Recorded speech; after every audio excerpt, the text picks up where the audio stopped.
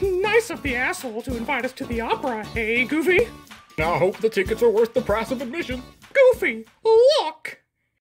It's Donald! What the fuck? I thought you guys said you were going to the opera! No, you gotta help us.